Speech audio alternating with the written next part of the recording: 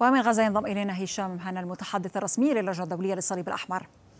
آه سيد هشام أهلا بك على شاشة الحدث. بداية توصيفكم للوضع الآن آه في قطاع غزة المتعلق بالمشافي والمراكز الصحية.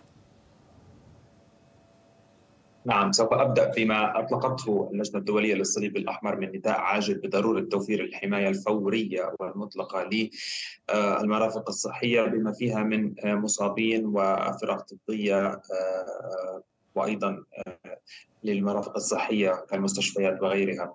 في ظل ما تشهده من تأثر بالعمليات العدائية والارتفاع في وتيرة الهجمات التي طالت العديد من المستشفيات في شمال قطاع غزة. أذكر منها مستشفى النصر للأطفال، المستشفى الرئيسي لعلاج أطفال مرضى السرطان، المستشفى الإندونيسي في الشمال، مستشفى العودة أيضا في الشمال ومجمع الشفاء الطبي وهو أكبر مستشفى إحالة يتم التحويل إليه عالج يعني آلاف الحالات ممن تعرضوا للإصابات في أثناء هذا هذا الكابوس منذ السابع من أكتوبر إلى هذا اليوم. نعم. اللجنة الدولية للصليب الأحمر أطلقت هذا النداء لأنه ببساطة شديدة هناك حماية مطلقة وخاصة القانون الدولي الإنساني للمستشفيات والمرافق الصحية والعاملين فيها والمرضى. لقد شهدنا تعرض هؤلاء جميعا إلى إصابات نتيجة الارتفاع في وتيرة العنف والهجمات التي طالت بشكل مباشر بعض هذه المستشفيات. لم يعد في مقدور المنظومة الصحية في قطاع غزة الاستمرار في تقديم الرعاية الصحية. لقد وصلت هذه المنظومة إلى نقطة لا عودة في ظل النقص الشديد المستمر نعم. في الإمدادات الطبية والمستلزمات الطبية إلى آخره. والآن أصبحوا يواجهون خطر الموت الحقيقي بسبب التعرض لهذه الهجمات. هل لديكم معلومات سيد هشام؟ وبعد الآن. بعد كل هذه الاستهدافات هل لديكم معلومات حول عدد المستشفيات التي ما زالت قادرة على العمل ولو بالحد الأدنى؟ يعني أخشى أنني لا أستطيع تحديد عدد لهذه المستشفيات ولكن ما أخشاه أكثر هو أنه لم يعد هناك أي مستشفى قادر على الاستمرار في العمل خلال الساعات القليلة المقبلة في النصف الشمالي من قطاع غزة بأكمله. هذه المستشفيات لم تكن تأوي فقط الجرحى بل كانت تأوي آلاف الأسر التي نزحت إليها هربا من الموت وطلبا في طلبا لطلب نعم. نجاه أو أو ملاذا امنا هذه هذه المستشفيات نحن زرنا بعضا منها خلال هذا الشهر الذي الذي مضى وأيضا مؤخرا كنا في مجمع الشفاء الطبي ونظرنا عن كثب عن حال الأهالي هناك وحال المرضى هناك ومدى الإرهاق الذي يعني يعني أكل طاقات الفرق الطبية والعاملين في هذه المستشفى.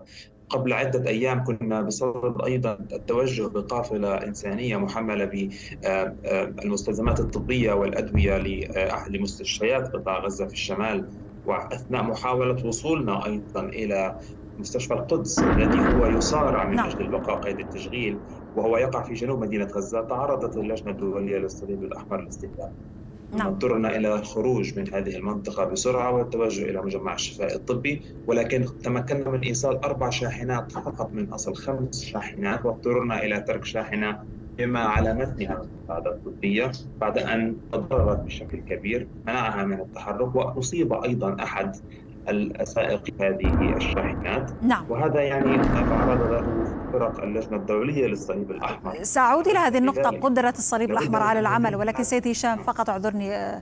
أشير إلى أننا نتابع صور مباشرة من قطاع غزة. أصوات بالتأكيد القصف في في هذه المنطقة. وعلى ما يبدو كذلك أصوات لاشتباكات في قطاع غزة.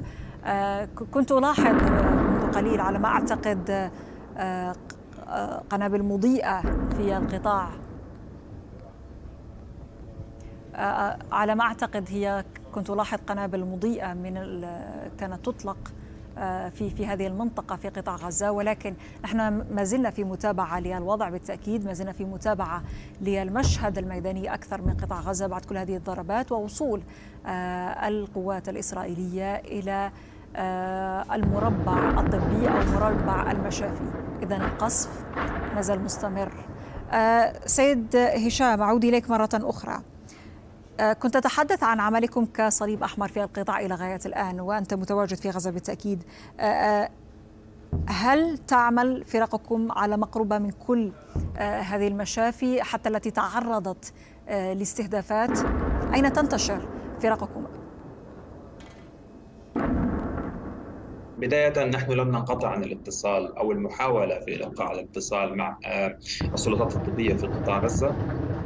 وأيضا شركائنا في العمل الإنساني جمعية الهلال الأحمر الفلسطيني والجميع يعلم أن هناك تحديات يعني قاسية جدا في الإبقاء على الاتصال بشكل مباشر وبأي طرق وأي طريقة ممكنة مع في قطاع غزة الآن نحن نستطيع التحرك في النصف الجنوبي من قطاع غزة ونحن بصدد غدا البدء في أيضا البدء في إيصال المساعدات الإنسانية نعم. للعديد من الأهالي النازحين في النصف الجنوبي من قطاع غزة وإيصال إليهم الحاجات الإنسانية الأساسية كالأغطية والفرشات والمستلزمات المنزلية إلى آخره لأنهم خرجوا بالملابس التي يرتدونها أو الغالبية العظمى منهم خرجت يعني بلا بلا ممتلكات.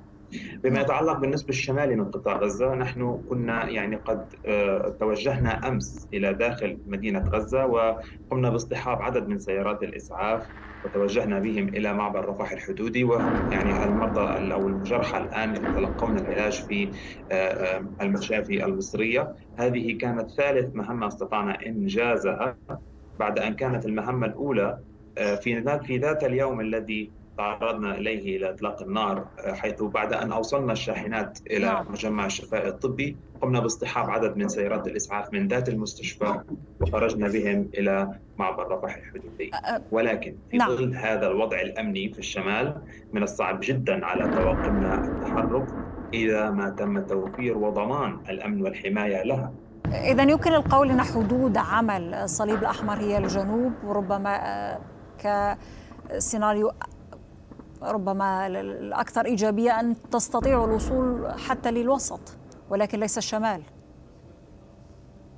كل ما كل جميع المناطق التي هي تقع جنوب وادي غزة إلى حد ما نستطيع التحرك فيها ولكن هناك أيضا مخاطر تحدق بالجميع. يعني نعم.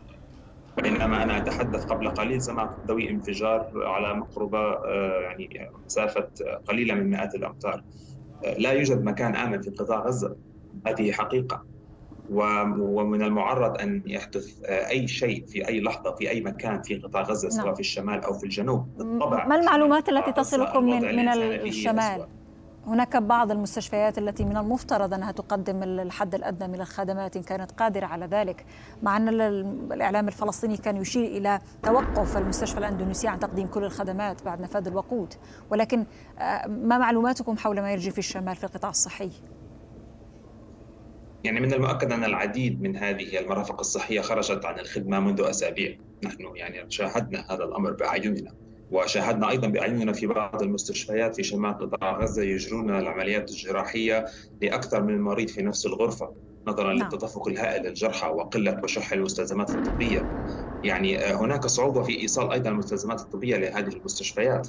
يعني كما ذكرت سابقا تعرضنا لإطلاق النار في أثناء محاولة الوصول، تمكنا من إيصال أربع شاحنات أي نعم ولكنها نقطة في بحر يعني ممتد من هذه الاحتياجات التي تطال كافة المستشفيات وتحتاجها المستشفيات في قطاع غزه.